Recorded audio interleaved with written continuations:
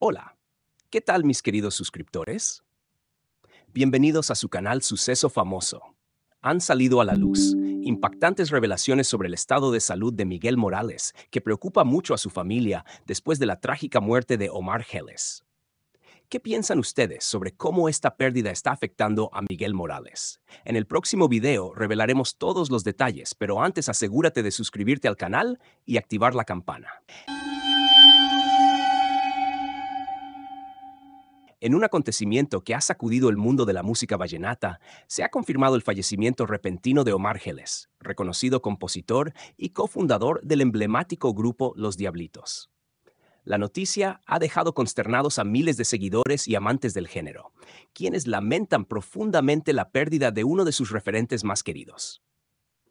Omar Geles, de 57 años de edad, dejó un legado imborrable en la escena musical colombiana y latinoamericana, con éxitos como Los Caminos de la Vida y Cómo le pago a mi Dios, entre otros.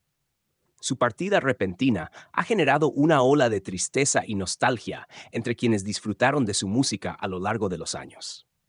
Además de su impacto en la industria musical, la muerte de Geles ha afectado especialmente a su amigo y colega cercano, el cantante Miguel Morales, con quien fundó Los Diablitos en 1985.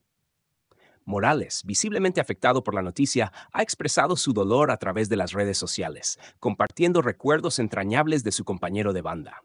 En medio del duelo, la familia de Miguel Morales ha manifestado su preocupación por el estado emocional del cantante, quien ha sido visto sumido en la tristeza y la reflexión. Su hijo, Canner Morales, compartió un mensaje en el que describía el desconsuelo de su padre ante la pérdida de Geles, generando una respuesta de solidaridad y apoyo por parte de los seguidores.